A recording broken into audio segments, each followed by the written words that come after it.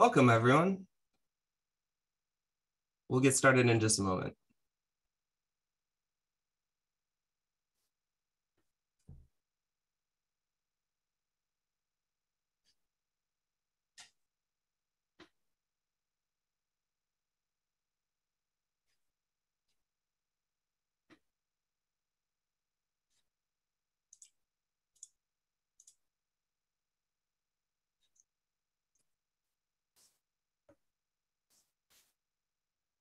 Okay, Chandra, when you're ready, just stop sharing your screen and I'll begin the webinar.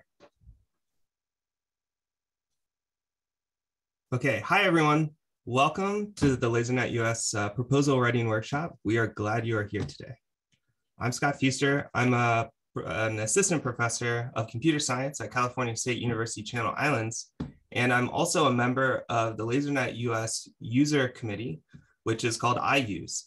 Um, I'd like to take a moment before we get started to recognize um, all the people who have organized and contributed and will participate in today's event. Um, so I'd like to say a special thank you to the people who have been organizing it. Um, Jennifer Ellie, a member of the uh, i-USE committee. Um, Chandra Curry, who is the coordinator for LaserNet US, has been a great support to us as we put this together for i-USE. Um, and then Arianna Gleason, Franziska Treffert, Sophia Malko, Dean Rusby, Sven Steinke, and Sasi Palaniyappan have been uh, very gracious to volunteer to serve as the Q&A panel later in today's session. Um, so this event um, is organized, sorry, one sec. This event is organized by the um, committee. Um, and this is the LaserNet US user committee. Um, we're a team of members who are really dedicated to helping you succeed within LaserNet US. So the purpose of today's talk um, and event is to give you a better familiarity with um, how to write proposals for LaserNet US and also to welcome in members of the community who may be new and actually not even know what LaserNet US is. So here's what we're going to be going through today. So first, we're going to start with the talk about what is LaserNet US. This is a very gentle welcome, especially for people who are not as familiar with LaserNet US. And we want to show you how LaserNet US can help you do your research. Then we're going to hear about how to write a successful proposal for LaserNet US. Next, I'll be talking about some resources that we put together for you, especially um, something new this year, which is a weekly office hours to help you write if you're stuck or don't know where to start. We'll have a Q&A by the entire panel that I just mentioned of past PIs who have successfully written LaserNet US proposals, and then we'll wrap it up.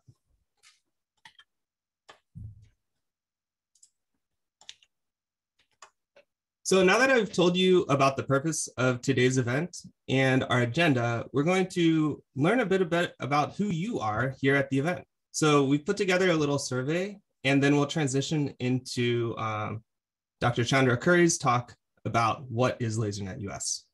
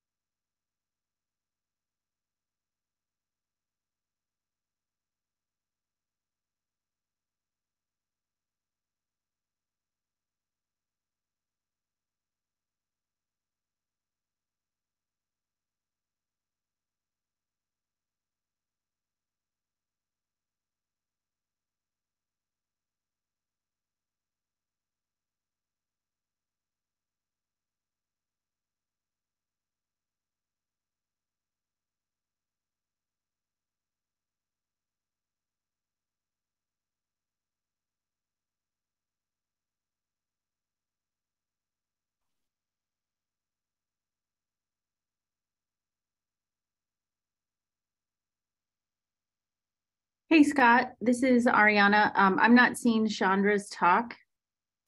Is she having technical difficulty? I can hop in and present in a pinch.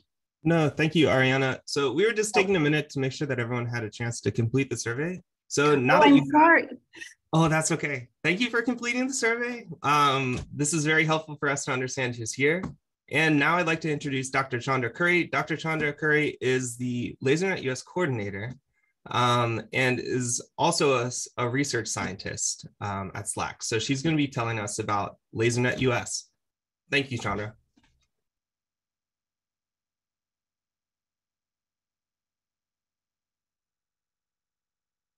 Okay, so you should be able to see my slides now. And let me start my video. All right, so thank you, Scott, for the introduction. Um, and today my goal is to give you a brief introduction to um, to what LaserNet US what S is and how you get access to our facilities through this proposal application process that we'll be going through in quite a bit of detail here today.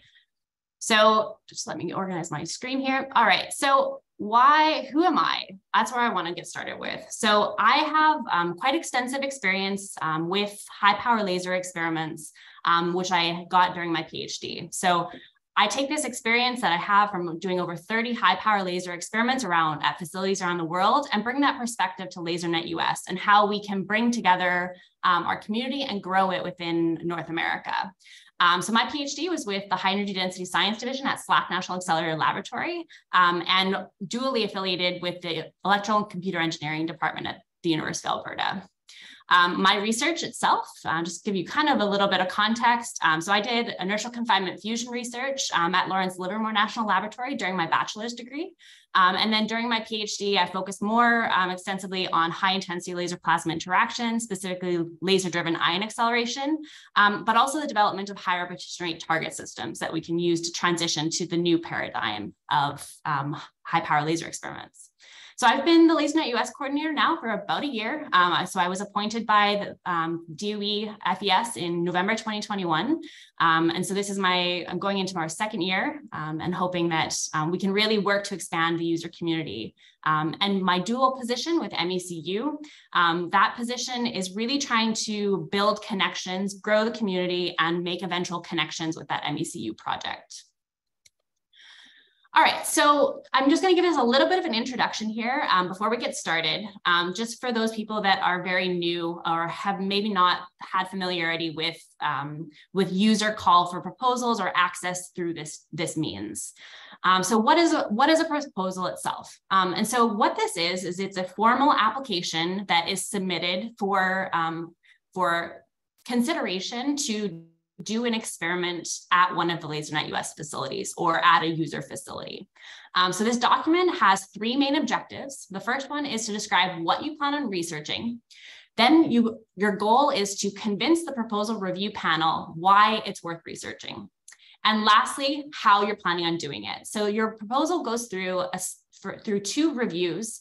Um, first one is for a scientific, scientific merit and broader impacts evaluation by a proposal review panel. So this is a panel of about 20 people that are going to look at your proposal and evaluate on those means. And then the proposals that are shortlisted are going to then be sent to the LaserNet US facilities. So the one that you designate um, for a technical feasibility review. And so this two-step process um, occurs between the, the, submission deadline, which you can see here, uh, December 19th, 2022 is when we're currently accepting proposals until. Then it goes through that two-step evaluation procedure by um, our two, our two um, parts of LaserNet US. And then we're expecting the final list of awarded experiments to be announced in spring 2023. So somewhere like mid, mid-March to early April. So what does this look like? All right, so we're here. So the call for proposals was announced uh, this week. Um, and now that means that our submission system is going to be open up until um, December 19th, so right before the Christmas break. Um, then your proposal is handed into the hands of the proposal review panel and we'll award the experiments in April, uh, approximately April 2023. And so this gets us all set up for cycle five. And so this is um, the way that we um, group our, experiments into an annual cycle. And so our annual, our next annual cycle is going to run from about September 2023 to July 2024. So if you're awarded an experiment, you are then put in contact with the point of contact at the LaserNet US facility.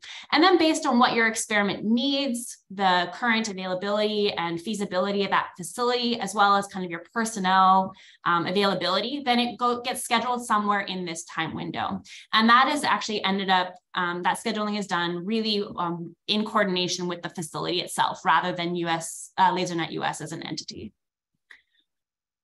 So LaserNet US um, has its open call, as I mentioned, that was announced this week. Um, and all of our proposals are accepted through a web-based proposal application system. Um, so you can visit this website here, lasernetus.org slash proposal, where you can access our full guidelines document here which gives um, notes on things like safety, um, resubmission of proposals, um, big, large scientific campaigns, kind of all the details and, um, and rules and guidelines that we follow for um, LaserNet US. And then more recently, which Arianna will go through um, in more, much more detail in the next talk, is the template for what your proposals should look like and what content it should contain. And so these documents are both available for download um, at this website. Um, and if you have any questions about those, feel free to contact either me or Arianna. Okay, so with that brief introduction, I'm gonna now dive into my talk that actually focuses on what is LaserNet US. So I'm gonna go through um, how we're organized, um, who the main people are in the organization, um, give you some quantitative numbers about um, the performance of LaserNet US um, in the first four years of operation.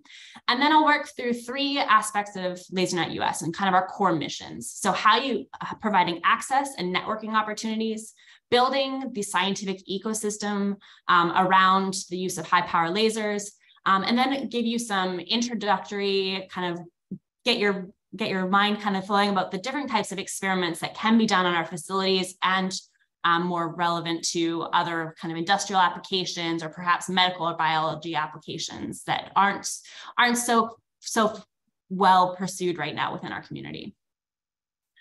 All right, so LaserNet US um, is a network of 10 um, high power laser facilities that are geographically spread across North America. So we've got a number of facilities that are located at national laboratories. So we've got uh, the Jupiter Laser Facility at Lawrence Livermore, uh, Matter and Extreme Conditions at SLAC, Bella at Lawrence Berkeley National Laboratory, um, mega at University of Rochester LLE. And then we've got a number of uh, lasers that are based at universities, uh, university facilities. So we've got a good uh, distribution, kind of 50-50 of those. Um, and each of these facilities um, operates um, with a little bit different um, operational uh, procedures or uh, kind of user operations. Um, so it's really important that um, whenever you're looking at proposing the experiment that you start become familiar with the kind of the uniqueness of each of these facilities. Um, and so by putting bringing these uh, 10 facilities together, um, we have formed a mission of LaserNet US to really advance and promote ultrafast laser science and applications. Um, so the first one of these, in order, we've come together and formed our network. So what does this network look like? So LaserNet US was formed by the US Department of Energy, Office of Fusion Energy Sciences in 2018. Um, and this is our current organizational structure. So as we've grown, we've had to adopt a more formal um, management structure in order to really serve the needs of our user community. Um, so my myself am the LaserNet US coordinator, and I fall within the LaserNet US management branch, which is also um, also sat by the uh, Douglas Schumacher and Mingsheng Wei um, as our chair and vice chair of LaserNet US. And then we have um, a number of subcommittees, which have various different functions within LaserNet US. So first is our Network Facilities Committee. So this has a representative from each of the 10 facilities, um, and they really are responsible for um, holding a grant from DOE FES um, in order to execute and carry out the experiments that have been allocated on, on the 10 facilities. Um, they also play an important role in the strategic directions and planning for the network um, and pushing initiatives forward at the, at the network level. Um, next, we have the Intense Light Users Engagement Committee. So the actually the committee that's running this event here today. Um, and they function similar to uh, user groups from many of the mid to large scale user facilities around the world. Um, and it's their responsibility to represent the user's interests within the network. Um, next two are uh, two of our branches of the of LaserNet US. Um, to support users in developing and using diagnostics and also integration of simulations in design, execution, and analysis of experiments. So diagnosis and simulations are two very key components in designing um, complex and successful experiments with high power lasers. Um, and by bringing these two committees together, our goal is to provide uh, resources to specifically new users and people from maybe outside of our community um, so that they don't have to go through that initial learning curve um, right from the start. Next, we have, again, very relevant to our conversation today, the proposal review panel. So this is chaired currently by Dr. Arianna Gleason, and the panel consists of about 20 subject matter experts from the various different uh, topical areas um, that are currently investigated within LaserNet US. And it's their role to con conduct a review of these proposals um, and rank them according to the evaluation criteria set forth in the proposal. Um, and lastly, we have a scientific advisory board with um, leading experts in high power laser science and applications from around the world.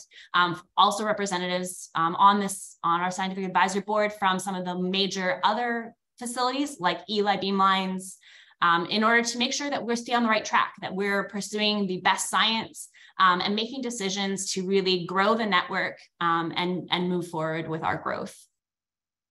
So I just want to take a moment just to highlight the i-USE committee itself, um, since that's why we're here today. So the i-USE committee is chaired by Dr. Ronnie Shepherd and Dr. Amina Hussein.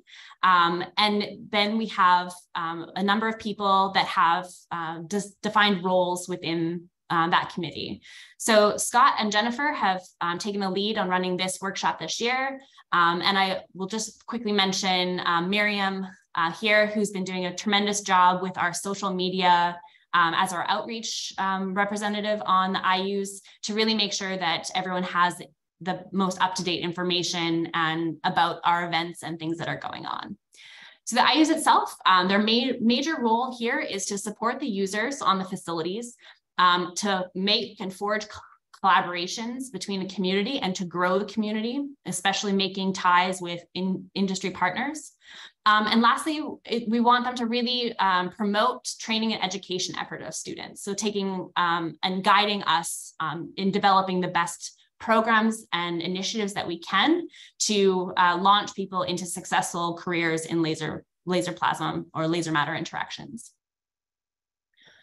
Okay, so LaserNet US um, has many different parts to it. Um, so we'll just go through those kind of um, in sequential order and how they are driving the, the science of LaserNet US. So the first one is actually access and networking. So LaserNet US um, has a um, large, as I mentioned, 10 facilities. So we've got a number of these facilities that go into the kind of the realm of commercial type sapphire systems. Um, and then we've got some of these longer pulse, higher energy lasers, um, ND glass, ND mixed glass type laser systems. Um, so these are our kind of our, our, our, collection of short pulse laser systems, um, but we also have access to two longer, well, three longer pulse laser systems through Omega EP, Janus at Livermore, and LCLS at MEC. And so really the, the very broad range of laser capabilities now allows users to, um, and providing access to such large laser parameter spaces, allows us to, uh, or allows us to enable our users to design experiments for the science that they're most interested in, and then apply for access to the facility that most closely matches those. Um, and so this is kind of a shift compared to um, the previous generations um, in our field where experiments really had to be designed for where you could get access, whether it was your home institution or the user facilities that um, you, you had experience to. So we really want to switch that. We really want to have people um, apply for places where um, the laser most closely matches the science that they want to do. So up until now, um, of our 10 facilities, so we've had four calls for proposals now. So I just want to point out here, so this is um, the first cycle, which was in 2019, up until this year of the experiments that are currently being performed at our facilities. Um, so on average, we've we have had um, an increasing in the number of proposals that have been submitted from about 40 to 65.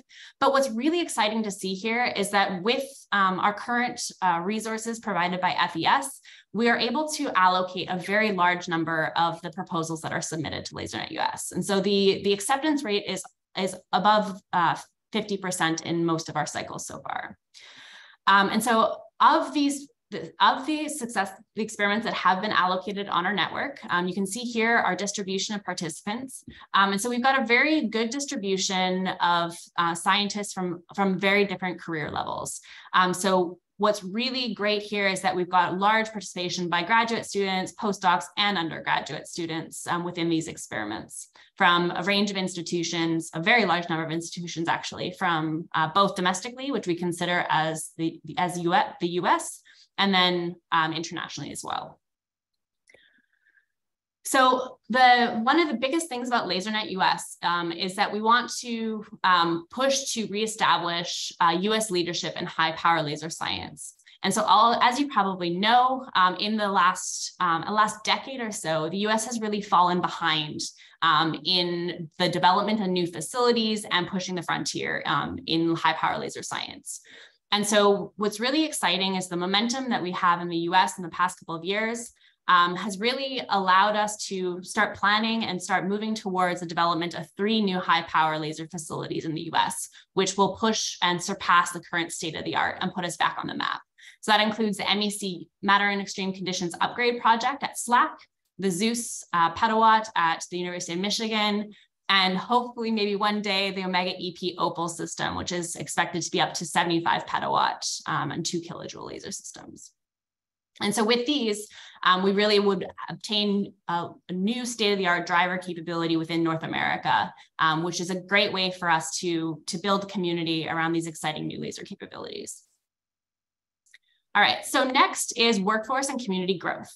Um, and so with these new capabilities, um, it's important for us to build the network around that and people that are able to do the best science on these facilities. So how are we doing that with LaserNet US? So this workshop you're here to attending today is one of those initiatives. And so we're really trying to develop uh, proposal writing work uh, resources to support new users. So people that are coming in from um, fields or top research areas that are not our conventional users or not expert users as we would call them. So this workshop is one of those and the recording of this um, workshop will be um, be posted to our YouTube channel after this event so that people can refer back to it um, as they're working on the proposals or in future calls.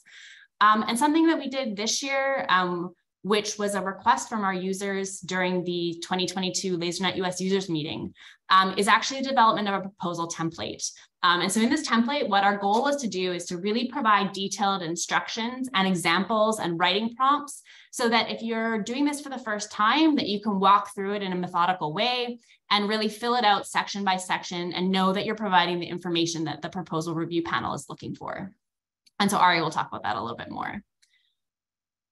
Um, something I want to also mention is because we are, um, one of our key missions here is to grow the community um, and build a sustainable uh, scientific ecosystem around high power laser um, is that we actually have a strong prioritization of the broader impacts of the research in addition to the more conventional intellectual and scientific merits. And so the things we want you to think about when you're preparing your proposal um, is first the impact on the scientific ecosystem. So questions like who benefits, um, are you bringing in new people to the community? Is it a new research area? Um, are you engaging with a new community of people through this work? Um, but also impacts on workforce. So are you are you training students? Are you um, are you contributing to growth of the community in the fields? Are you have are you establishing cross collaboration or increasing the interdisciplinary nature of the research? Um, and all of these things allow us to really come together and, and build that, that community around these, these facilities. Um, so kind of just in line with the, the, the workforce development aspect of this, um, I want to highlight that LaserNet US encourages students and early career researchers to be lead PI. Um, and so these are one of the ways in which we are providing opportunities and training opportunities um, for people to um, kind of accelerate their their scientific careers in in this field in this area. Um, so not only is it a great learning experience to go through and design and execute your own experiment um, this is also a way to um, kind of take ownership and leadership of your specific research. And the lasernet us provides the support to do this. And so you can see here on the left, um, a number of our, our student PIs that we've had um, in experiments to date. Okay, and so as our community has grown, um, we have uh, uh, thankfully we were able to go back in person this year and kind of see all the new faces that have begun to engage with LaserNet US um, throughout the pandemic years. And so we just concluded this uh, workshop um, in, in, August. So it was hosted by Colorado State University. Um, and we had over 165 attendees. And what's really cool is that um, over 43% of the contributed talks were delivered by graduate students on research that they performed um, through LaserNet US awarded experiments. Um, and so what we're hopeful for is that these are going to be one of our greatest avenues of bringing our community together um, and, and for forming collaborations and, and really uh, developing that healthy network and ecosystem. So lastly is the science. And so this is our, um, LaserNet US aims to do um, the best science. And the access, networking, workforce, and community growth are really vital um, aspects of driving the best science forward. So I just want to give you a, a, quick taste. I don't have too much time left here, um, just about the, the areas that um, we can investigate using high power laser technology. And so there are a wide number of applications um, that have that have been proposed and uh, partially demonstrated, um, but also are actively pursued. So these range from medical, specifically what I'm interested in, so like laser driven proton sources for cancer therapy, through to XUV lithography um, and XUV sources for uh, use within the semiconductor, semiconductor industry for inspection and things like this to inertial confinement fusion and things like non-destructive imaging or in identifying internal flaws and defects in, in manufactured components. So what does this look like so far in our network? So our networks um, up until now has followed many of the more conventional high energy density, um, high power laser science research areas. So these have ranged from kind of astrophysics, like lab astrophysics through magnetized plasmas, um, ion electron photon sources, and more recently into a bit of plasma photonics. And so this is kind of the breadth of our current LaserNet US um, community, which is really taking advantage of um, our current network facility capabilities. Um, so we have high intensity laser pulses at high repetition rate, which is allowing us to do um, larger, more statistically based uh, research, um, low signal level type experiments. We've got multiple beams available at some facilities with the ability to do pulse shaping. Um, and our, our facilities and our network have been really pushing the frontier of high repetition rate targetry and diagnostics. And so with this, um, we've recently been looking into what, um, what capabilities we could add to the network to even enable more, um, more science. And so this is one of the areas of um, kind of that's being pursued by the Matter and Extreme Conditions Upgrade Project, which will add uh, several new capabilities to the network. Okay, and then uh, just to wrap up my talk, I'm going to give you an example of three types of experiments that have been done so far. Um, so this one is a really exciting um, experiment that was done um, by uh, by a team from LANL at um, at the Colorado State University, where they were developing a laser-driven gamma X-ray source that they could use for tomographic imaging of components. And so you can see here the comparison between a conventional uh, photon source and the laser driven source here. And you can see the, the really high resolution imaging that's being um, obtained with the, the laser produced source. And then here on the right is a reconstructed tomograph of an object that was done um, at CSU. Um, so it really looks quite impressive here.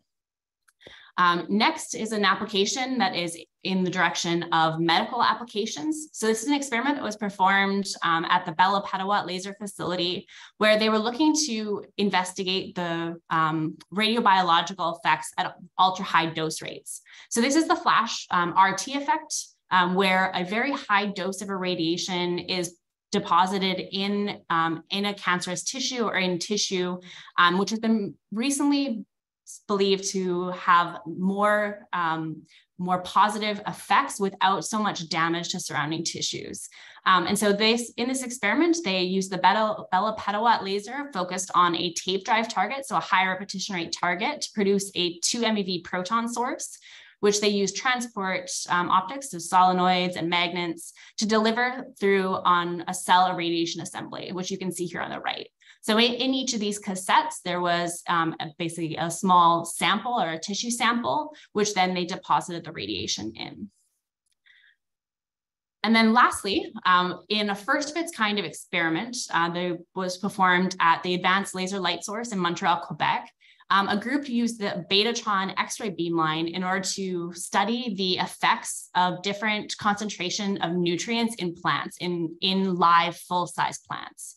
Um, and so what they were able to do is able to look how key mineral transport affected um, affected the, the conditions of the plant itself. Um, and this is really important for um, looking at how plants behave under at, at, the whole plant level rather than just like small um, small kind of dice samples of those plants for things like how these plants will perform under under drought conditions or changing climate conditions and really making sure that we have um, that knowledge for the few food sources of the future. So as you can see, these experiments have a very large breadth um, and this is something that we really think will drive the different parts of LaserNet US so that we can expand, um, expand the network into um, less conventional areas. So just to conclude, so LaserNet US is, is experiencing rapid growth um, and starting to attract users from a broad range of topical areas from around the world. Um, we're taking a multifaceted approach to attract, um, attract and build the community. And in order to do this, um, thing, events like today's workshop here, um, we are trying to develop the resources to really support users from, from these broader communities. Um, and I'll just leave you with that just a reminder that the proposals for cycle five are due December 19th um, at 4 p.m. And with that, I'll hand it back over to Scott.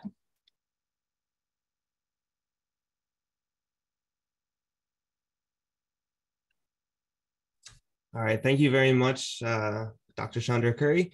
Um, it's a wonderful overview. So now that we've talked about what is LaserNet US and you have a better understanding of what LaserNet US is and how it fits into the broader context, now we have invited uh, Dr. Arianna Gleason, the chair of the Proposal Review Committee, to tell us about the most effective ways to prepare and uh, submit proposals.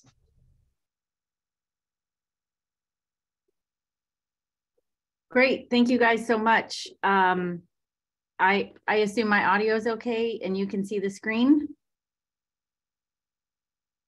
Yes. Hopefully that's true. Wonderful. Thank you so much.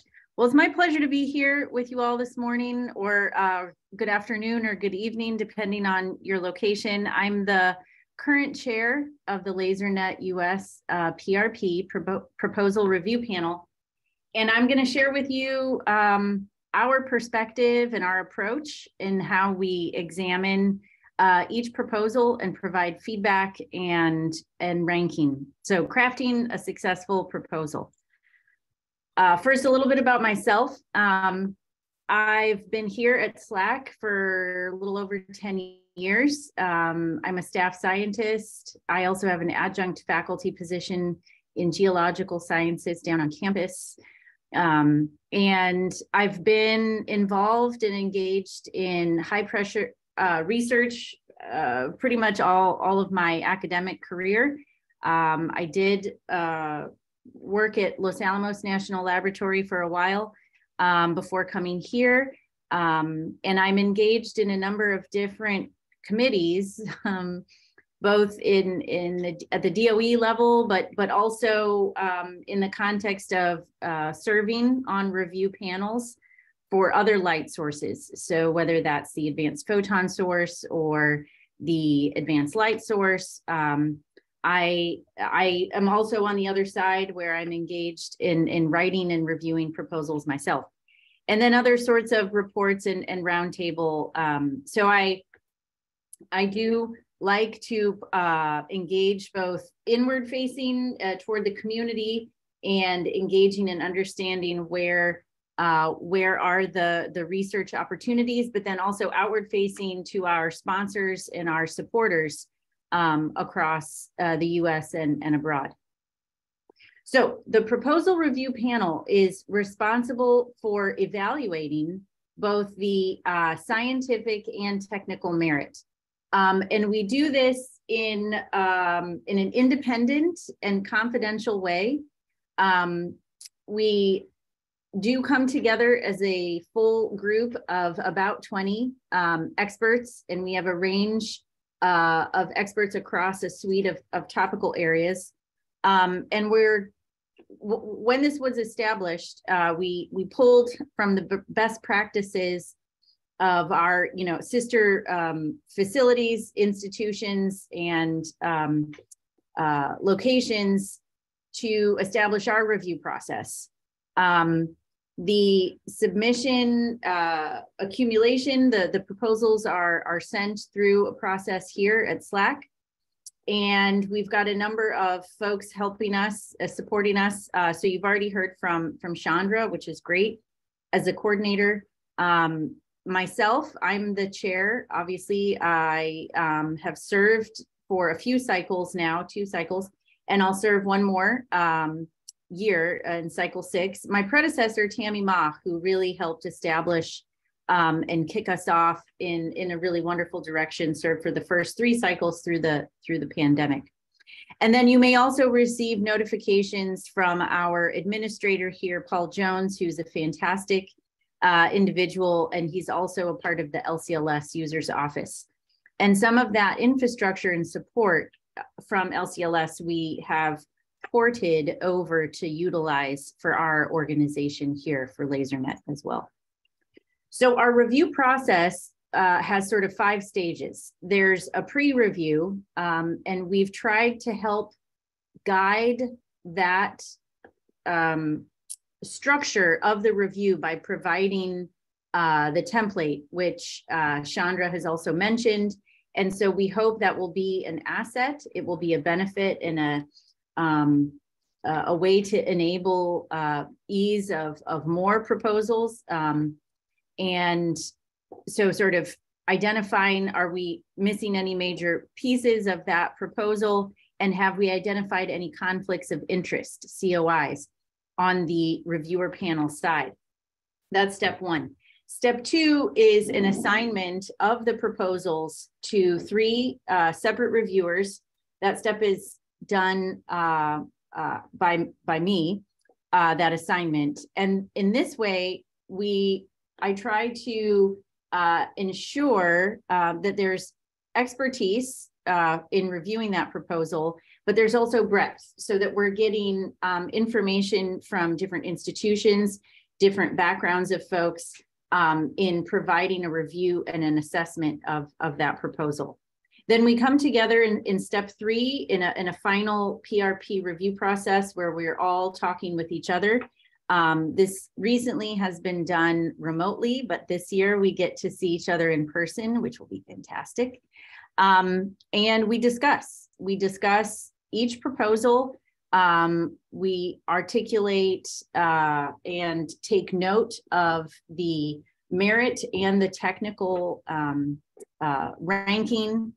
The um, then a consensus is achieved by the entire group. So this is not one individual strong arming um, you know, or promoting their personal agenda. This is done very much in a transparent way.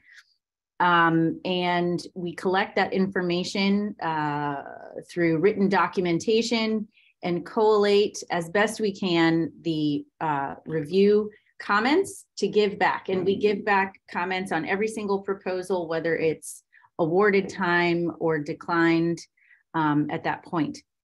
Um, the next step is a feasibility assessment, and this is done in coordination with the facility uh, uh, POCs, points of contact, uh, or facility directors and management. Um, and that is uh, just an evaluation strictly on the technical feasibility. Um, even considering if there's novel uh, opportunity and development of diagnostics, um, not if it exists right now, but what is the potential for orchestrating that uh, experiment in the future? What are the needs? And that is shared with myself and with Chandra. so that we can see how that fits together. Then there's a, a feasibility, the, the final decision is made once the uh, official reviews have been um, collated and the feasibility is completed. And that uh, gives us our, our final award list. So I want to dive into sort of two component, two main components uh, that are articulated on the uh, template now, but I, I sort of want to break it down for you one by one on specifically where we are as the PRP, as the proposal review panel, where we are really leaning in to um, uh, uh, into the proposal and looking at the details explicitly. So there are two components.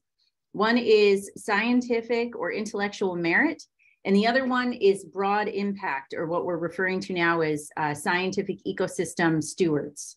So how are we shepherding forward? How are we the stewards now of this uh, topical area, this community? And how are we embracing um, as many uh, different kinds of uh, scientific areas and, and people as we can moving forward? So they're both important. In fact, um, you know, the, the broader impact, as Chandra mentioned, is is nearly equally important to the to the science case or the technical case. And i should say here it's not just discovery science merit right? We are also looking for ways to engage uh, and push forward application space that is critical so um, we say scientific merit but it also could be technological advancement or diagnostic uh, work so let's focus on the left hand side first here, um, the originality, uniqueness, and, and, and scientific merit, this can be covered in your introduction. So each of these colored boxes, I've tried to indicate where uh, these key components will fit in the template. And, and I'm not gonna walk you through the template one by one by one, um, but what we've tried to do is be very detailed on guiding via questions or uh, key pieces to think about to help build the narrative. Um, so in the introduction, uh, again, we we try to have a, a, a survey across topical area experts in the composition of the PRP, but it might be some aspect that's very new. So it's always good to introduce the topical area, um, the interest, the motivation, uh, the societal impact just a bit, bring that forward um, and, and use appropriate references so that we can do our homework in trying to understand um, how your work is, is clearly justified and, and of, of merit in this way. Um, the second part is uh, a workable hypothesis or series of key questions. This is really important, and I and I love to mention this um, it's challenging, but having a hypothesis driven approach or narrative arc through your proposal will help us understand step by step how you're leveraging really the, the scientific method in tackling what you've put forward first off in your introduction as the need, right? We, we must tackle XYZ um, and we're going to do that in the in the following way. It doesn't have to be if then statements like we learned back in middle school, but crafting um, text and, and figures around what are you testing specifically will really help us. Um, and that then applies not just in discovery science cases, but also in uh, technological advancements uh, and capability um, uh, efforts going forward. Um, these are all held equally important. So you don't have to be um, investigating foundational physics at stellar interior conditions. You could be developing a, a, key diagnostic that will move the bar forward. These, these are all held um, equally well. And then coming back to which laser and facility is most appropriate for that work. That will then fall in your experimental detail section and chart it out for us. You could provide uh, key parameters that are listed on the LaserNet or facility website that are are needed, are necessary for your work or a range. And if you have questions on uh, what parameters will be most important to you, especially if you're new to laser um, experiments, laser work, but you think there's a, a path forward here for leveraging uh, laser technologies for your science, ask us. So that's the second um, part is let we are your resource. Myself, Chandra, the i-USE committee, that's part of their um, thrust is to make sure we're informing the community. This in, in turn then grows our community. So that's a key aspect of our stewardship um, uh, that we hold very uh, as very high um, here in the in the LaserNet organization. Um, let's see so that's the science scope. I've grayed out this organization and conception piece because we've attempted to capture that for you by providing the template. So if you follow that, and and, and I don't mean just you know making bullet points one by one, answering yes no under each of the questions, but craft a narrative leveraging the questions that we've prompted for for your for your thought process. Um, so that's that's the direction we we wanted to go. So stewardship, broad impact, uh, or stewardship of the community, and broadening the the scientific ecosystem, and broader impact. So this is really important, and all of these aspects are important. Even though I've grayed some out, but I want to draw your attention to two in particular, and this will go again in your sort of broad impact section.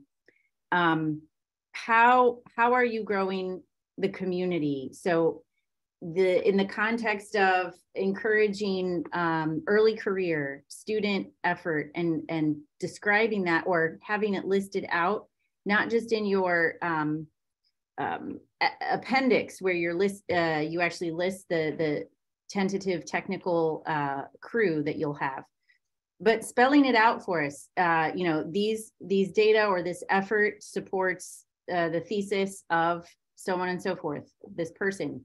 Um, it is a critical piece for my early career proposal in so on and so forth submission, right? So how how is it actually linked back to um, to that cross collaboration of, of fields? So Chandra gave some really nice examples that that might be non-standard in say biology and chemistry, in manufacturing or industry. Um, we're looking to grow. That's uh, underpinning message. And in order to do that, we have to educate each other.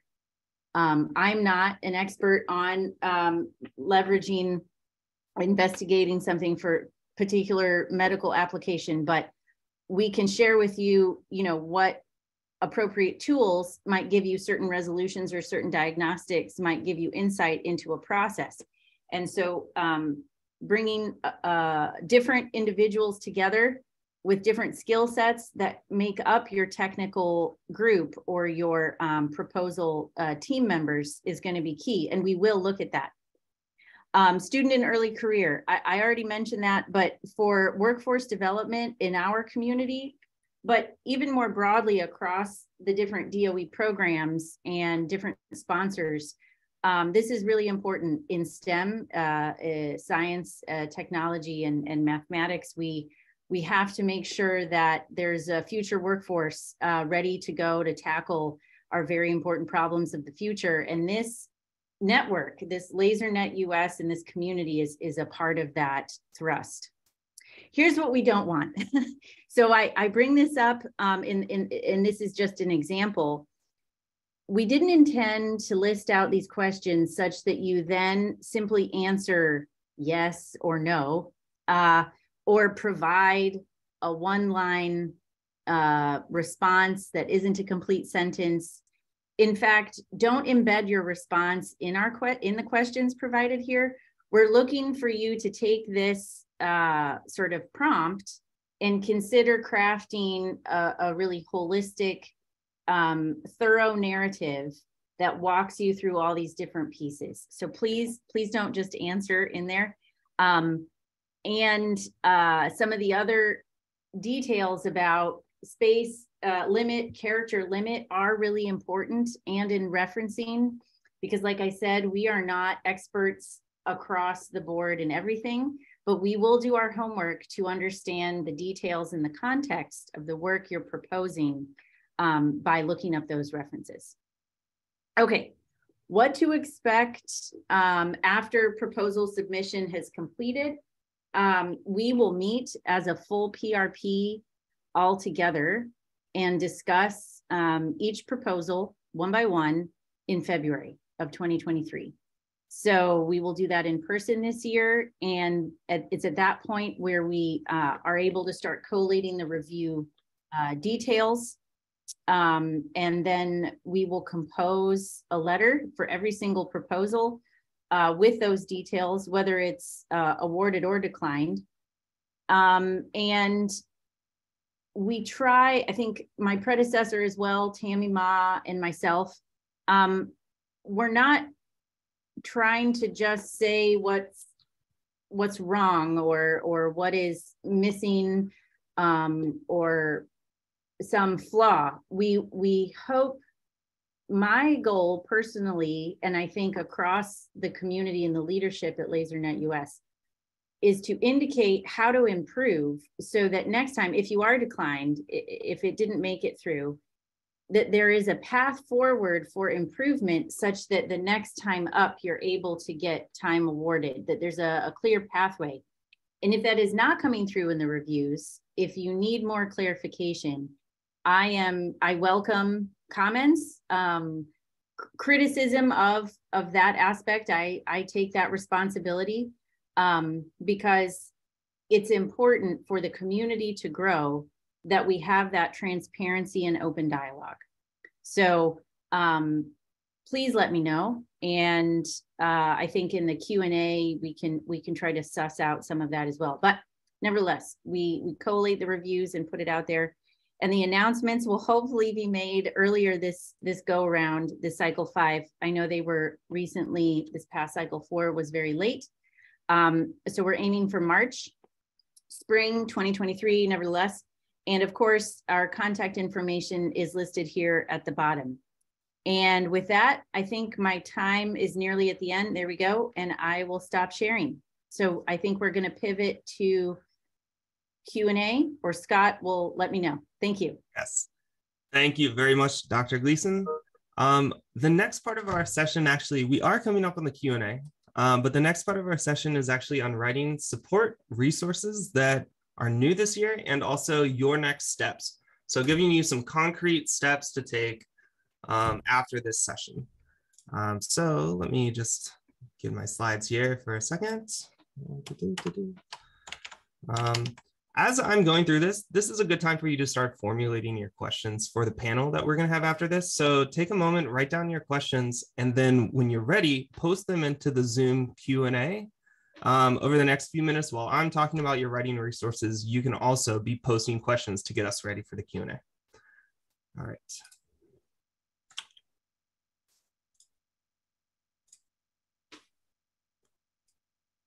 Okay, so for the next few minutes, before the Q&A, I'm going to talk about the writing resources and your next steps. So you've heard now about what LaserNet US is. Um, and you've also heard about some of the tips for best practices for putting in proposals and what the review process looks like. But how do you actually go about doing the day-to-day -day operation of starting, especially if you're a new PI or a PI who's put together proposals before, um, but hasn't um, succeeded in getting through with time, or you just want to hear about what kind of concrete next steps you can take to make sure that you put your best foot forward for this process. So this year, for the first time, we've put together this idea of a Friday office hours from the LaserNet user committee. Um, and so we will bring in as many uh, resources as, as, we can to these writing uh, support office hours so that you, especially if you're a new uh, student, someone who doesn't know even where to start for this whole thing, you can just come, show up, and um, get some help. So every Friday through December 16th from 10 a.m. to 12 p.m. Pacific, um, we'll be putting together a Zoom uh, office hours. You can just drop in. You can drop in at 10:15. You can drop in at 11:30. anytime in this window, that's how it works. Um, I put the uh, Zoom ID up here, here. You can write this down now. And our first office hours is this Friday. Here are some things that you could do at this office hours. For example, if you don't know how to reach out to a facility, you could come and get help on that. If you don't know kind of like what sort of like proposal steps you need to take next, you can come get help on that. So this is a catch-all for people, for you. If you are not sure what to do next, then the answer to that question is the next thing you should do is join the office hours and talk about what to do next. In addition, if you have general more or uh, general questions for LaserNet US, uh, maybe you're a more experienced person in the process and you have a specific question that needs a technical answer, um, or maybe you know exactly what you want to ask um, about LaserNet US, uh, then send these questions to Chandra Curry, the LaserNet US coordinator. Uh, here's her email right here. Um, so now that I've told you about some of the writing resources that we'll be providing, um, I want to talk to you about concrete next steps that you can take. So today, watch out for an email from us with, with the slides from today. These are a great resource for you to go back through as you're thinking about your proposal. Also today, review the list of facilities on the LaserNet US website and as you're reviewing that list of facilities, you want to pick out not just necessarily a facility that you're interested in proposing your work to, but also a backup facility or maybe a couple backup facilities. Then reach out to these facilities. This is very important to start a conversation um, with the facilities to get a sense, for example, of what kind of diagnostics do they have? Um, if you've made an assumption about the diagnostics that you'll be bringing, is that the sort of thing that they could integrate? Questions like this are very important to get out of the way as soon as possible. Um, and another thing you can do is to go do a dry run submission to find out what kind of uh, materials are going to be required of you for the December 19th deadline. This week, a good concrete action to do would be to continue a conversation or start the conversation with facilities to watch out for emails about uh, a recording of this webinar, which will take a couple of days to compile send your questions about LaserNet US to Chandra Curry. And if you don't know where to start at all, to come to the office hours on Friday um, to get support to help us point you in the right direction.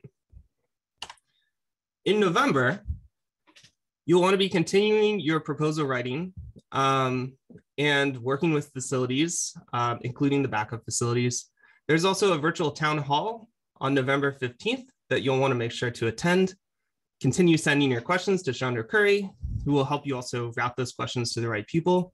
And continue if you are um, looking for writing support, um, then to come to the Friday office hours. We can also, at those office hours, help you get connected with mentors if your help needs are more detailed or you need some specific mentorship. We can also just route you to the right people to get more support. And then finally in December, um, it'll be time to put together the final proposal and submit it. Now, some of you may be new to this process and it might be intimidating to put in a proposal on such a short timeline. I wanna encourage you to um, consider that even if you're not going to submit for this proposal cycle, to take advantage of the resources that we are providing this time to reach out to facilities and get a sense of what uh, facilities you could work with, how you could develop a research project and then we will be continuing. This is, we are now on cycle uh, five, I believe. So we are now in a regular pattern of every year around winter time having a call for proposals. So even if you are new to the process and don't know where to start, going through all these steps this year, even if at the end you don't, um, you aren't quite ready for a proposal this year, this is a valuable experience that can get you ready to put in a really good proposal next year. Okay, so now that I've told you about writing resources and where you can get support, as well as giving you some concrete action items for what you can do after this uh, uh, proposal writing workshop is over, we're going to transition. Jennifer Ellie, another volunteer member of the LaserNet US user committee, is going to be leading this panel um, with previously successful applicants. So Jennifer, anything you need from me as far as like slides to show during this part, just let me know. Thanks. Thanks, Scott. Yep. So panelists, if you could all turn on your videos and microphones, we should switch to a kind of group view. I still see Scott's screen. I don't know how to switch that quite frankly.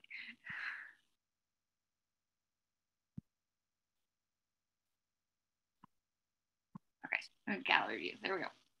Okay, thank you uh, everybody for coming today and thank you panelists for uh, agreeing to help us answer these the users questions as they come in. Uh, can we start off panelists if you would just give a short introduction of who you are, where you are in your career, what sort of experiments you've done. Um, so Franziska, can we start with you? Sure. Um, so I'm Franziska. I'm a PhD student at Technical University Darmstadt in Germany working full time um, at SLAC here in the Higher Genetic Science Division. Um, I have um, done one experiment through LaserNet US so far at the Colorado State University on high repetition rate uh, ion acceleration from uh, liquid jet targets. And I actually have another one coming up um, next spring that is looking at extending that um, platform for neutron generation. So that's my um, yeah sort of uh, experience with LaserNet, yes. Thank you. Dean? Hi, yes, uh, I'm Dean. I'm a, a Lawrence Livermore. Um, I have done two experiments through LaserNet, both at the Texas Petawatt uh, facility. Um, I'm working on uh, uh, focusing targets and how we can use those to like improve the X-rays and the proton acceleration. Um, previously, I was in the UK, um, most primarily working on like short pulse lasers and X-ray generation. Um, yeah. Thank you. Sophia?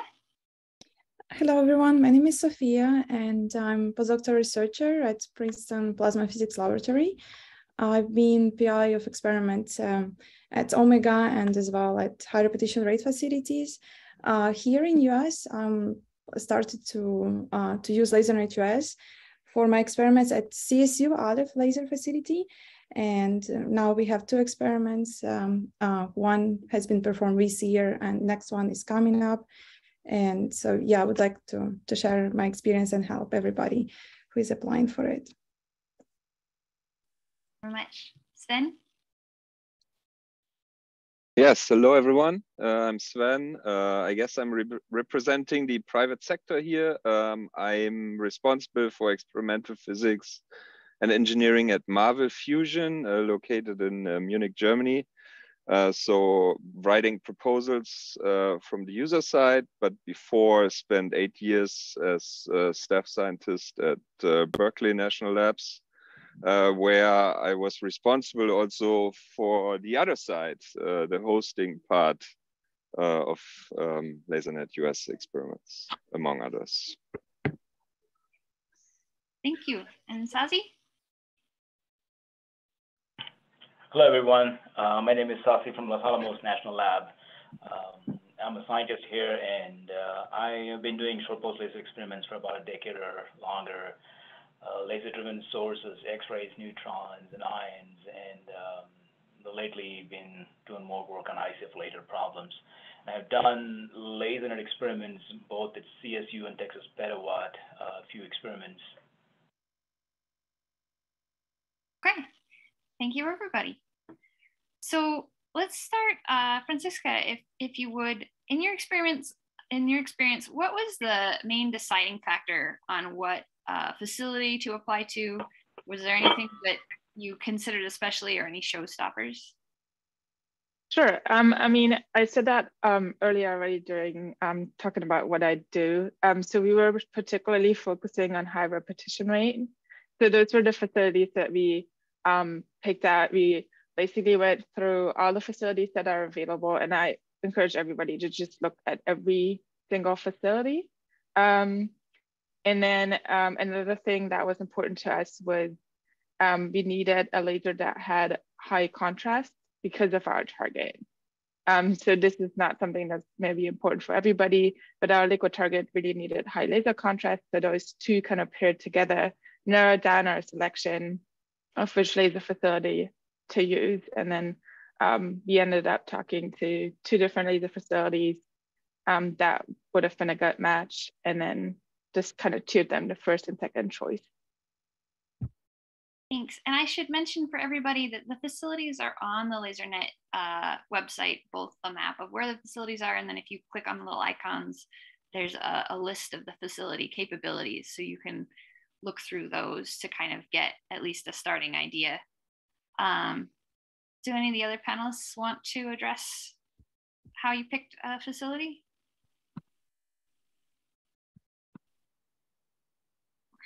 Yeah, I would definitely agree with Francie. Uh, like you have to look at whole list of facilities and check all the characteristics and and obviously it would be nice to talk at least for two free facilities to decide on which one you want to use. And Arianna, since we had this, uh, since we started with this question, do proposers need to contact the facilities that they want to attend or can they just write a proposal blind? So it's not mandated, but it's really encouraged. Um, and in fact, if you if you do have um, some description um, or or shared knowledge uh, dialogue with the facility point of contact or beamline scientist mentioning that, um, you know, having a sentence that says, you know, we've we've articulated this proposal or shared ideas with the staff and they find it feasible, not necessarily feasible, but that that sort of check has uh, has been um, addressed. Uh, that initiative was taken by the PI. That helps us see uh, the the viability and path forward um, from the PRP perspective. Whereas if it's something very new, uh, there's no mention made of discussion with staff or facility POC, um, and it's and it's sort of adjacent to what the current capabilities are of that facility, um, it does give us pause. So I'll, I'll say it that way, but it's not mandated. So you're not required. And, and I think each facility, maybe Chandra can give us the official definition um, for, you're not required to list them as um, uh, members of your team, the, the facility. Um, that's sort of up to each facility, I believe, uh, sort of how they mm, have decided that. Um, but but asking questions is is sort of for free, so you can um, certainly do that. I don't know, Chandra, do you want to follow up? Yeah, okay, there. Sorry, I was just trying to answer a question in the, the chat box at the same time. Um, so yeah, I'm just gonna echo exactly what you said. So um, we strongly, strongly recommend um, working with the, the facility point of contacts and the technical staff to um, to design your experiment make sure that you identify anything that that may be problematic or a showstopper like we mentioned in the last question. Um, but this is really left up to the discretion of the the, the user group um, about the level and involvement of the facility personnel. Some facilities operate in kind of more the the, the user model. So I'll give you the example the Jupiter laser facility. There, it's it's a, a much more technical support staff. Um, they've been doing this for many many years. Um, things are pretty pretty systematic on how you would execute an experiment there. But if you look instead at maybe some of our university facilities, um, you really require that hands-on um, assistance and collaborative nature to, to do an experiment there. Um, so I think you'll find that your experience will really vary. And um, I think that we leave it up to your discretion about the amount of involvement and, and how you handle collaboration and, and authorship and all of these things. Ben, I see your hand is up. Did you have something you wanted to add? Yeah, I, first of all, I wanted, yeah, absolutely. I want to absolutely second what Arianna and Chandra have said. So it, you should contact them as early in the process as you can because they have all the resources uh, and you can evaluate feasibility. You don't want to be kicked out in the feasibility stage of your proposal because it doesn't work, but also because they are all scientists and they are extremely helpful and uh, can even participate in the quality of your proposal by helping uh, you putting that together and uh, maybe become a part of the team if you have some uh, synergies. Um, so go for it as early as you can when you think about it, pick your facility, contact them. Okay, thank you. Dean, I'm going to address the next one to you. How much time did you request in your proposal and what does this depend on? Like, does it depend on the facility you're applying to or?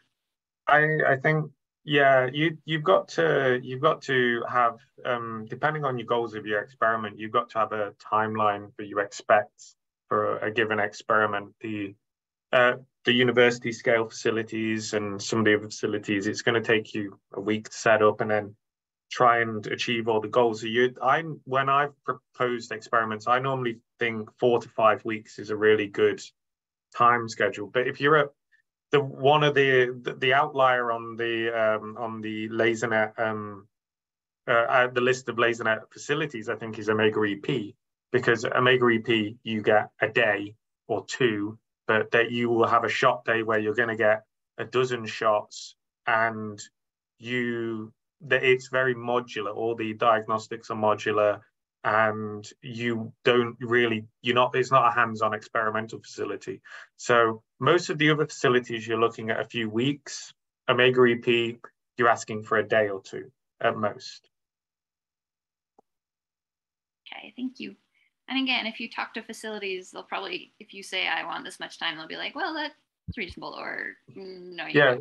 yeah and i mean after you get accepted there's also the uh, when we are going to put you we think we've got a slot for you here and we think you've got a slot for you there. So yeah it's again communication with the facility is very important before and after. Arianna oh i just got answered live.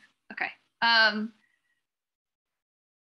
I guess I'm going to ask, are there any evaluation criteria or quotas that might put international PIs or collaborators at a disadvantage, or is there anything uh, international proposers need to consider especially?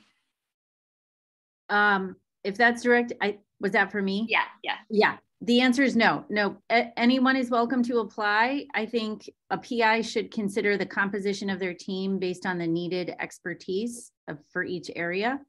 So if it's a domestic US PI, uh, principal investigator, and they need to reach out internationally to make sure they're composing their best team, uh, they should do so. Um, any international PIs, if your team is outside the US, then that's that's also fine. There's no quota, there's no uh, I think initially that you uh, folks might be remembering there was the very first cycle one uh, there were some other uh, considerations around international PIs, but since cycle one, none of that has come to bear uh, for our consideration uh, in, in the review process. So um, that's, that's my understanding.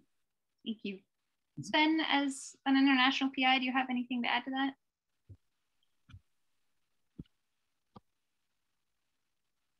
No, of course, I can only say from the user side. I don't know whether there's a quota or not. Uh, absolutely no, but I haven't experienced any difficulties uh, applying from abroad. No.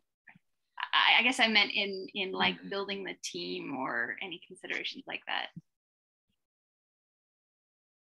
no, I can, as I said before, in building the team, I said the most important part is get the facilities on board, uh, discuss with them, use their resources, um, and get everybody on board. You need to pull off the, the project.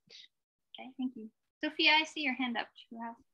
Yeah, I wanted to add, like, as previously international um, PI of experiment, we had 90% of our team was from Europe and we had to bring our equipment and everyone to experiment at CSU and this this requires a lot of time so uh, if you're international PI you just have to understand it's going to take more time if you're in US in order to organize the experiment. Okay, wonderful. Thank you. Scott, this is a somebody's writing their first proposal, uh, who should they ask for for help? Okay, so if you are writing your first proposal or thinking of writing your first proposal, congratulations. If you have a specific question, you can reach out to uh, Chandra Curry and she'll help direct that to the right person. If you don't even know where to start, um, perfect thing to do is to jump into the Friday office hours anytime, any Friday. uh, between 10 a.m. and 12 p.m. Pacific, and we will guide you on your next steps. Thanks. And, and to kind of follow up on that, Sasi, um, who did you speak with when you first had an idea for an experiment, or what was the first thing you started with? Um, that was for me, right? Yeah. Okay. Um,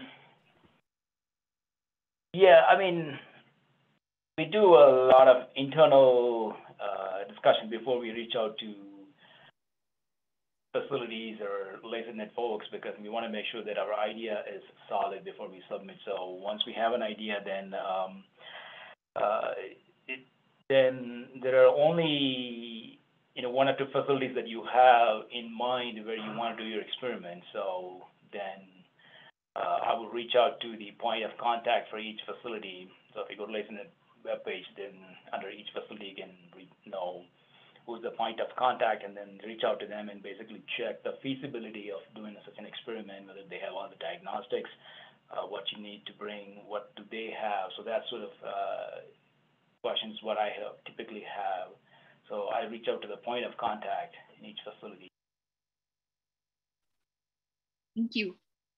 Chandra, I think we have a question for you uh, in the chat, which is uh, there's an undergraduate working in a lab at a LaserNet hosting university. Uh, would it be possible for them to do research at a LaserNet facility while doing grad school nearby? Yeah, I think that that's a really great opportunity and something that we can that we can look at. Um, if you're interested in submitting your first proposal, um, definitely reach out, attend office hours, and start kind of building up that idea. It's probably going to be usually I think we see that uh, graduate students start uh, proposing their own experiments kind of midway midway to upper level graduate studies. Um, but uh, getting involved and getting kind of participating and getting on your first experiments, um, I would I would recommend reaching out to the facility POC of the facility nearby. Um, get your hands on and see if you can participate in a few experiments, and then we look forward to seeing your proposal in a few years. Okay, thank you. Uh, this is kind of an interesting one. Dean, I'll ask you to, to start do facilities let you adjust all the equipment yourself? Where you expect to operate everything or what did you need to supply for your experiments? Sort of what are the expectations when you go into the experiments? So I, yeah when I've, I've only ever so i've done experiments at jupiter and jupiter's a very well equipped facility. It's got a lot of equipment and a, a lot of livermore staff can help out with the diagnostics that they've got at hand. But when we went to texas obviously that's further away for me. So I I started by talking to people that had done experiments at Texas before and asked them what did they take, what did they need to take, what did they need to take, and we learned what we needed to take and the equipment we needed to provide. In Texas, for example, we took uh, cameras, computers, and some four labs equipment that we knew were vital for the experiment. In terms of diagnostics, I mean, uh, yeah, it's also really helpful to know what they have on hand. And we, again, took a lot of our diagnostics that we knew were primary diagnostics for our experiment. The it's it's good to it's good to if you if you're unable to like visit the facility or you've never visited the facility, it's always also good to like um I know Texas, for example, will provide you like a CAD model of the of the chamber and you'll be able to actually like have a look at the size of things as well and where you can put things on the experiment. But actually like having some photographs and uh, of the experiment or the area that you're going to be working in is very helpful for knowing what it's going to be like when you get there. It's you've got to, uh, i would advise like familiarizing yourself with the facility not just what do i need to take and what do what diagnostics and cameras or stuff but actually knowing will this diagnostic work on this facility? This can be, you know, communication is the e- communicating like often with as many questions as you can come up with is definitely the the way to go, I would say. Thank you. Cool. And I want to point out for people who want to reach out to other PIs who have done experiments on a given facility, there's a list of successful past proposals on the LaserNet uh, website that you can look people up on. Chandra, did you want to address that too? Yeah, I guess I just wanted to to just add on what Dean said a little bit too. And I when I've done my my LaserNet US experiments as well, um, something if you have the time and resources available as well after you get an awarded experiment, we found it very very helpful to go on kind of a recon trip. So going out there and kind of experiencing what a shot day looks like, and kind of being able to take the measurements yourself and and um, kind of get that familiarity. Um, of course, this is kind of not relevant to today's discussion, but I would definitely say that that was a very valuable exercise. Thanks. And sort of along those lines, uh, Franziska, if you could answer who or where did you get the information you needed about the equipment that's available at the facility you're applying to? So we actually, um, once we had a point of contact for um, the experiment that we were going to do, we talked to them extensively about um, what we needed. And I think what is really important here, first of all, is to kind of be very sure of what you actually need, not kind of just sending an email being like, hey, what do you have? But, but just knowing what you need for your setup to work and be like, this is the equipment list that we have and what we need, tell us what you have locally. And that way we were able to kind of eliminate everything that they already had provided and that we then didn't need to bring. So I think yeah, as I said, being sure of what you actually need is really important to like communicate clearly with the facility. And so when did you did you do that as part of the proposal process, like after you'd sort of roughed it in, or like when did that that discussion happen in the process? I think that was mostly actually after the proposal was awarded, pretty immediately after I got my proposal awarded, I reached out to the facility. Um, before that, I was mostly just kind of concept talking about whether the experiment was feasible. And then right after it being awarded, it was more into the details like, um, what do we need to make this happen? Yeah, I would say that it's kind of at like the very high level. Like, for example, if you have like a complicated diagnostic that has very stringent vacuum requirements, or you're fielding a new target delivery system, like these more complex system modifications that are beyond what are currently done at those facilities, these need to be talked about in advance. This is kind of where we identify if there's enough resources or manpower or expertise to field them. But once we get into like the very fine details of your proposal, like your optomechanics or the specific optics you need, these are kind of the separation from the pre-proposal phase to the post-award phase. Um, and if you have any questions about what level of detail um, you should be in your design before you submit your proposal, feel free to reach out to me and Ari and we can give um, advice on that. Um, one of the things that the proposal template does require this cycle is like, for example, a beam path diagram. So we want you to already be thinking about where your primary beams are gonna be, where your diagnostics are gonna be, what diagnostics or vacuum requirements do you have? Um, but then the fine details of that would be sorted out after the proposal is awarded. Thank you. Sophia, I have a question for you. Uh, for preparation of the target hardware, um, do, do the facilities provide that? Can LaserNet provide some help? Um, yeah, targets is a thing to uh, think about in advance. And uh, we discussed about targets with the facility before actually submitting the proposal. Um, but in our case, it was thin foils, which are purchased from Goodfellow. And we had also some really special targets, which we purchased from uh, GSI uh, Target Fab. And that was done one year prior to experiment due to the difficulty of targetry. Um, so it depends on the experiment of the user, but LaserNet US provides supports on the targetry, which has to be requested. And this also has to put in the proposal when you're writing details about your targets. You can write it will be provided by you or by laser facility, or you will request some support on it. Thank you. Okay, let's uh, discuss a little bit about uh, support, monetary support. Um, Chandra, I guess this is a, a question for you. Is, is LaserNet able to support scientists who are traveling to experiments? So per diem, housing. What about European uh, uh, scientists? Yeah, so we um, in cycle four, um, we were able to provide um, really travel support to most user groups that did request it. Um, and, and we will be able to do target support and consumables. So sorry, so travel and target or consumable support um, in cycle five. Um, so it's really so within the actual proposal itself, um, there is we we don't want actually specific requests for funding anymore. If you've submitted with us previously, there was a field um, that has been removed this cycle. Um, if you do require support for your experiment and it, it won't be possible without that, really reach out to me and Kramer um, as soon as possible, um, and we will kind of get get you get you and keep you in mind as we do this.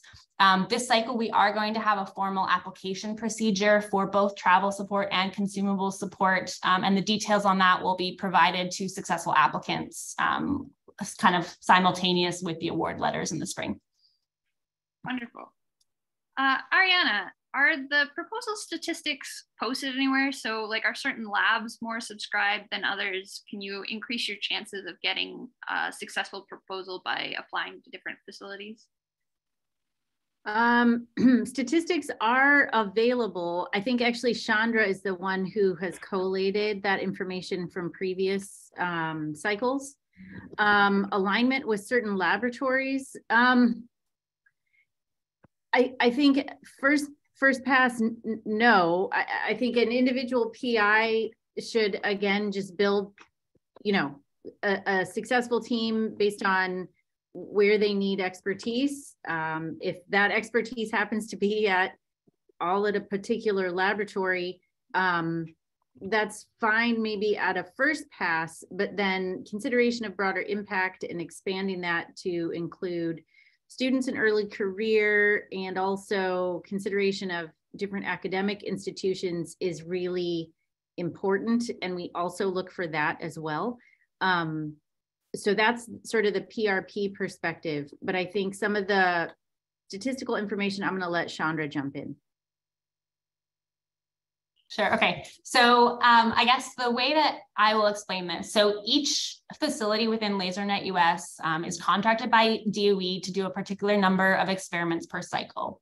These discussions are fluid and change based on the proposals that are submitted um, and the overarching availability and previous commitments at each of these facilities. So these this information is not known a priori to the, the, the call itself.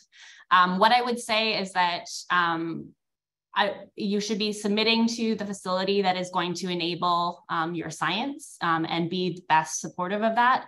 But what I will say is that it's incredibly important, and we really want to emphasize um, applying to both primary and a secondary facility.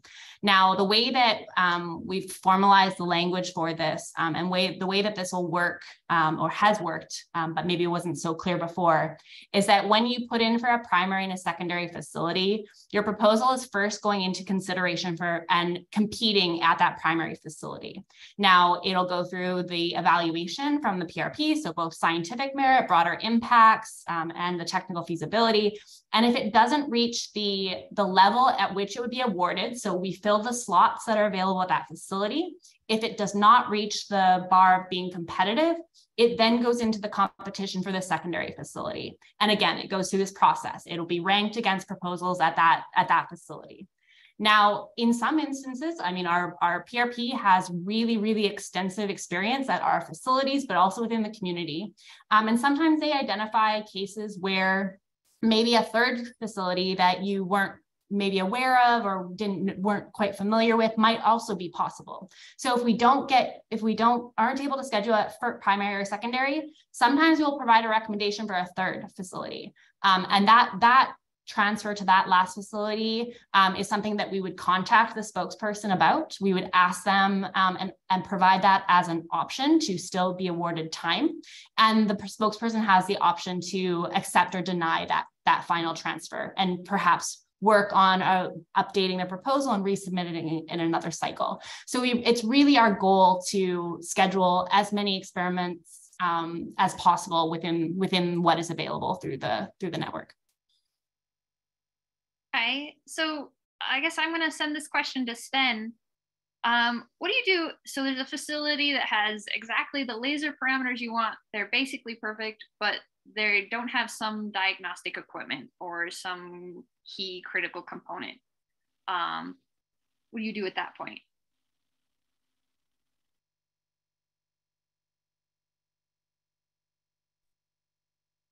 Well, I first of all I have to uh, say sorry for my unstable internet connection, uh, but you have you have a few choices, right? Uh, I guess you can uh, support uh, request support in your proposal to develop the the diagnostic in the time uh, leading up to the experiment.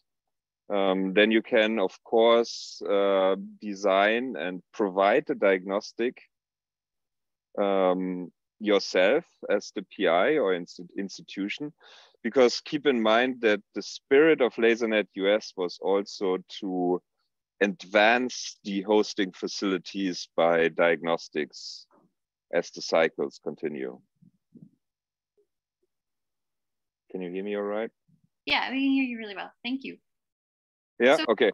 Uh, and uh, this is, of course, I guess, also seen by the PRP as a strong uh, argument uh, because if the facilities are getting better and uh, fellow users um, are able to use their diagnostics in future experiments, the community is growing and uh, success is underway. So would you consider doing kind of a, a, staggered proposal where one year maybe you propose to develop a diagnostic with the facility and then the next year you propose to use it? Is that feasible? Uh, I guess so, but I, that would be more a question to Chandra how, how this is uh, perceived. Um, at least you should mention that in your proposal that you plan uh, successive, uh, more like establishing a research path uh, that you outline in your first proposal and then um, describe what your steps are in phase one, phase two, and so on as you go through uh, the uh, cycles of LaserNet. So that's how I would do it, but I don't know what's that's the official track. No, that, that's exactly correct. And so we see this as yeah. a, what's called a scientific campaign. And so we understand that um, access to these facilities is sometimes necessary in developing diagnostics or platforms. Um, and so by within your proposal itself, if you explain exactly the phases so that phase one we're going to build that diagnostic we're going to we're going to field it commission it calibrate it um, that takes this beam time and then that will be used and then really kind of give us that that description of the path or the way from like the development stages required for you to get to to that scientific or technical result that you're pursuing. Um, we we are very much in welcoming of these kind of platform or technical capability development type proposals um, but it's really important to still provide the context of why that is important to the research or the the technical area that you are coming from thanks Okay, Scott, I have a question for you from the chat. Um, so maybe there are people who have submitted proposals and gotten rejected and gotten feedback, um, or, or maybe they haven't gotten very useful feedback. Are the office hours gonna include some tips on writing proposals based on previous rejections? Um, yeah, you're welcome to come and talk about it. Although for specifics about previous cycles, I would recommend you reach out to Chandra Curry because she will actually have access to previous cycles information. Um, but if you're looking for how do you craft a better proposal this cycle, definitely you can come to the office hours and we'll help you.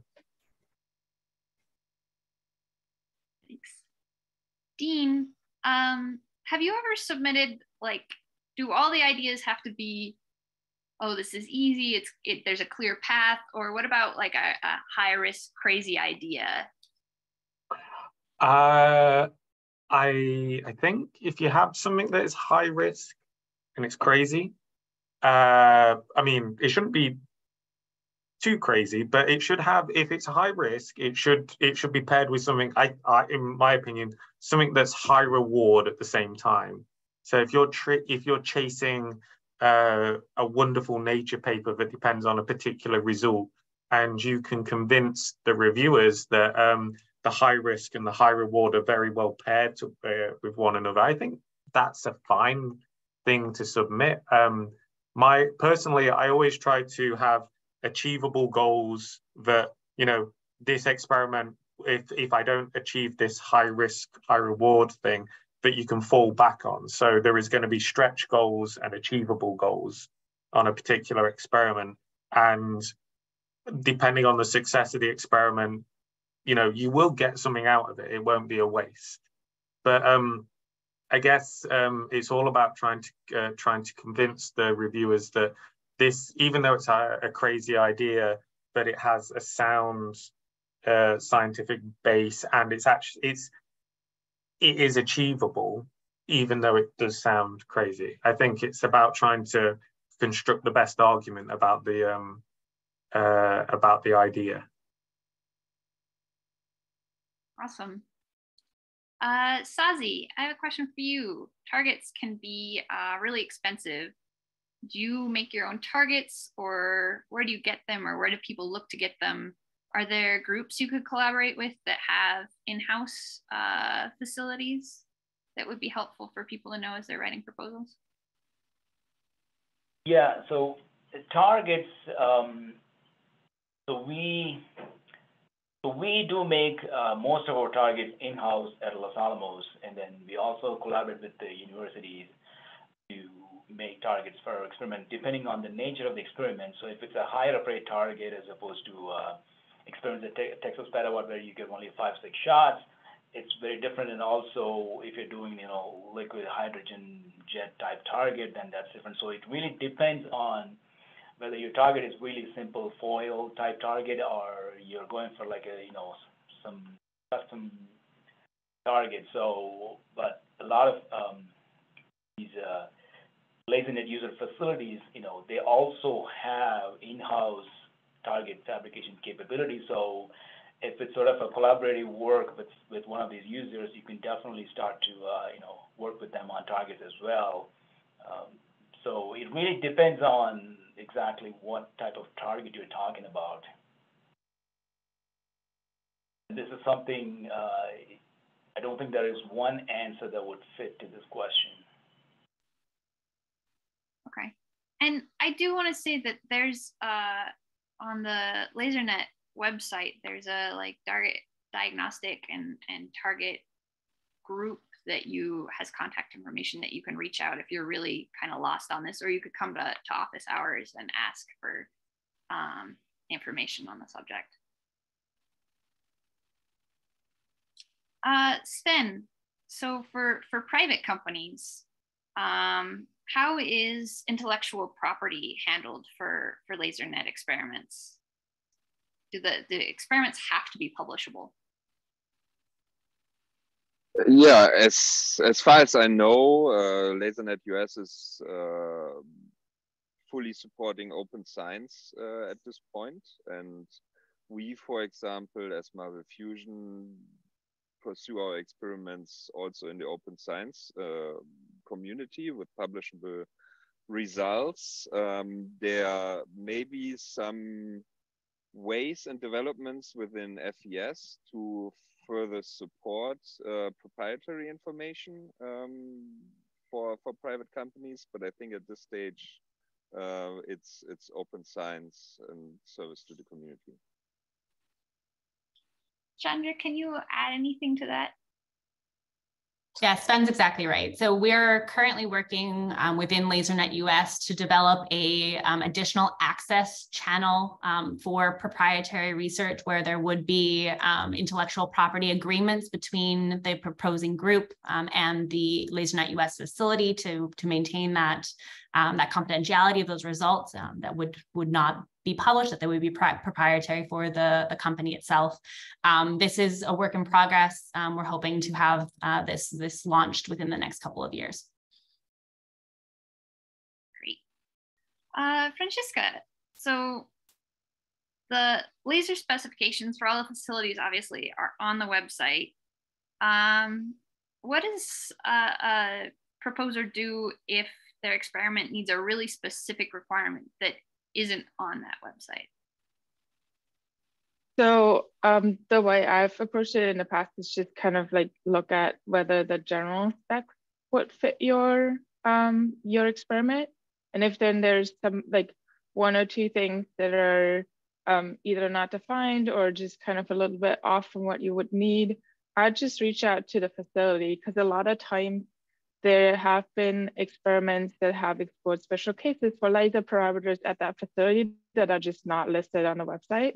Um, so it's just really um, important to reach out to the facility staff and ask them about what has been tried in the past, um, or even if there's any uh, opportunity for them to do some sort of like test runs or measurements at the laser parameters that you would be interested in. And a lot of times that's possible. So yeah, you, you would reach out to the facility and see what's doable.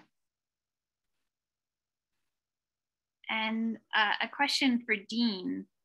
Um, when you did your experiment, are like how does the, the LaserNet interaction work? Are the facility staff uh, collaborators? Do you include them as co-authors on the publications or are they just providing a facility for you to use? I, I personally do provide, uh, because um, uh, it's not, when you go to a place like Omega or you go to a place like NIF, um, you are kind of interacting with the facility more than you're interacting with individual people. But when you go to a facility like uh, a university scale facility, you the people there are vital to the success of the experiment. Um, and I, the communication that you have, and the, it is a collaboration because um, you learn things about the laser and the if you're if you're using parts of their for example, if you're using high repetition rate targets that are provided by the facility or diagnostic provided by the facility, they are providing uh, a lot of additional support. So I, I personally, um, uh, I, I'm not sure if I've included them as part of the proposal team, but I definitely include them on the publications uh, uh afterwards because, um, well, I feel like their support was vital for any success that I've ever, ever had at their facilities. Um, the um, uh, particularly, yeah, it's and uh, most of the experiment, most of the work is done prior to you getting to the facility anyway. You know, discussing about the laser parameters you want to operate with or diagnostics, and um, particularly on the last experiment we did at Texas, I um, uh, they had a, a, uh, PhD student that uh, wanted to help out. And we actually spoke about like what kind of results that he would like to keep from the experiment. And um, the the collaboration between us as the like the team coming in and them as the support team it was like um, the, sometimes they would like something out of it as well. And it was they provided a student a full-time student for the entire experiment and i was able to you know offer you know support with hey you this this will be really helpful for you know writing up so yeah, but it was definitely uh, definitely keep them as a. Um, I definitely put them as collaborators more than anything. So kind of to follow up to something you said, I'm going to ask Arianna. Does LaserNet uh, require that the facility personnel are listed as collaborators on the proposal? So do they go in the tentative research team on the proposal? No, um, it's not required. Uh, I think what would be great is an indication, um, probably in the experimental details section uh, that you've discussed. You know, we've reached out to the facility staff or POC to discuss um, XYZ aspect of this work. So you're you're flagging for us that that some conversation is taking place, but mandating the inclusion of those folks on your um, team is not required from a PRP perspective. I think it's up to each individual, you know, to decide what level of engagement or agreement is made with the staff and scientists at the at each facility. Um, and so it's sort of it's sort of up to each person, but flagging that a discussion has been, especially if it's a new diagnostic, a new aspect, a change or deviation from what's traditionally available at that facility. Um, some indication just in a quick sentence or a few sentences is uh, appreciated and, and probably appropriate. Uh, Sasi, there's a question in the Q&A chat that is really specific to you. I don't know if you can uh, go in and, and answer that in the chat. I think Ronnie just answered it, so it should it's in the answer category. But somebody was looking for for contact information for for you from about targets. Um.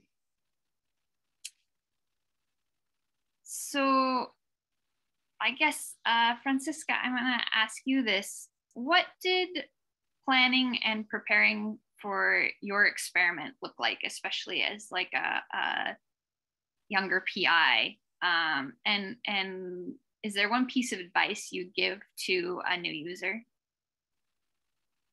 Um, so I think the first thing that I did was just talking to people who have um, have who already planned experiments in the past.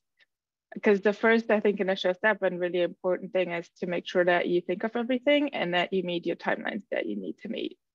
So talking to people first, making uh, a checklist for yourself of like, what do you need to think about in terms of experiment, but also just in terms of other logistics, like shipping things to the facility, bringing people to help, like who's available when, all of this stuff.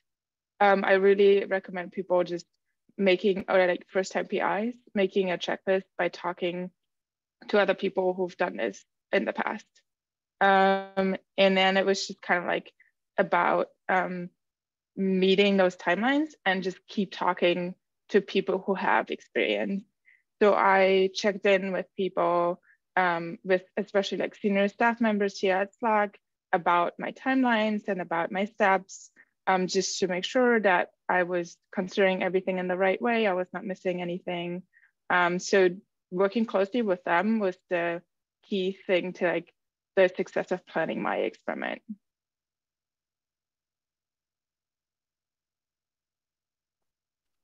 Does anybody else want to add anything to that?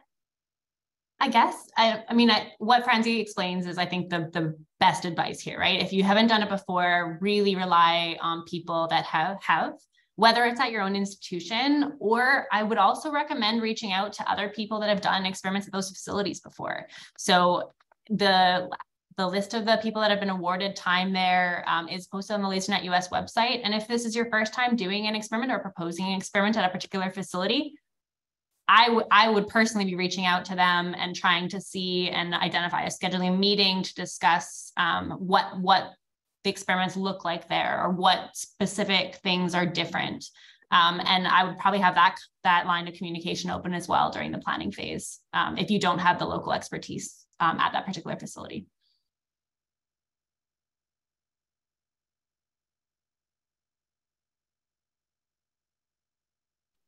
Better if I unmute myself. Sven, do you have a, a follow up?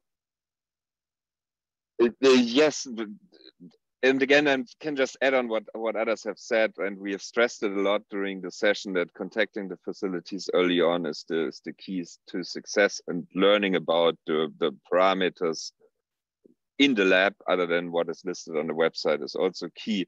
But also, and I think Dean mentioned that before, is that the facilities within LaserNet US differ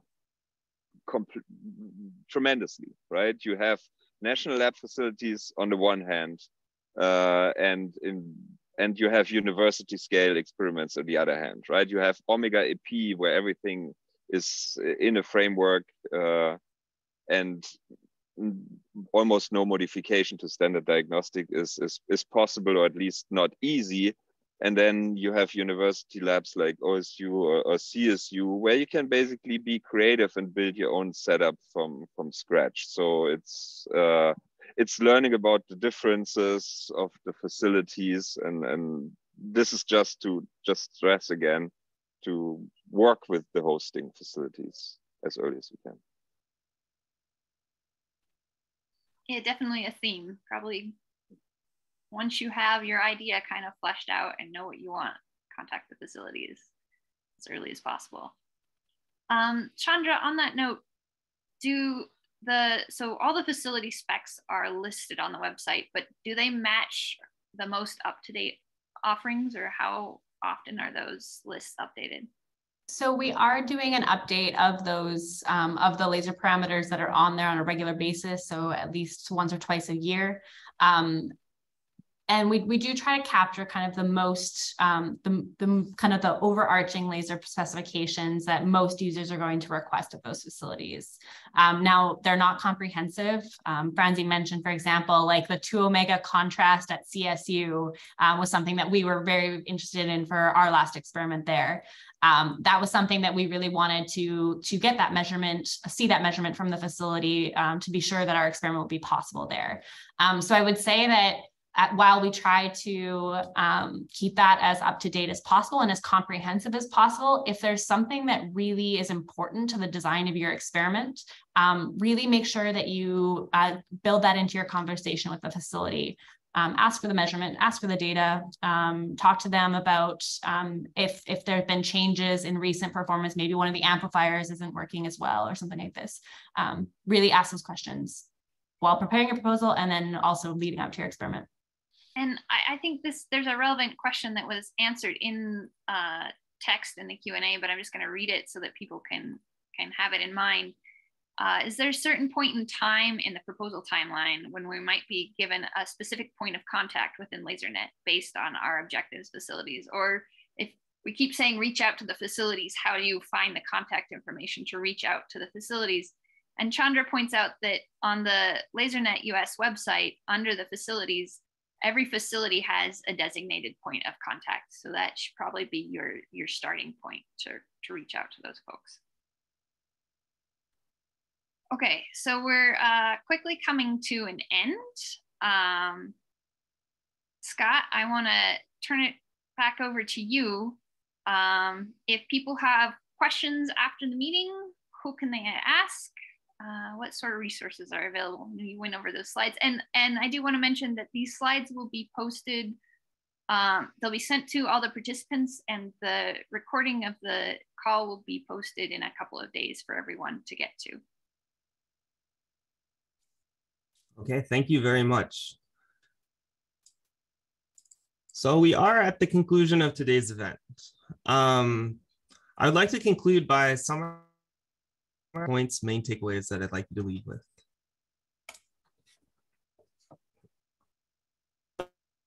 provides free facility beam time in a competitive process that's open to all, including graduate students and um, any new PIs. Effective proposal writing involves facility coordination and consideration of the broader impact of your project on the LaserNet US community. We have outlined concrete action steps for you to take today and over the next few months.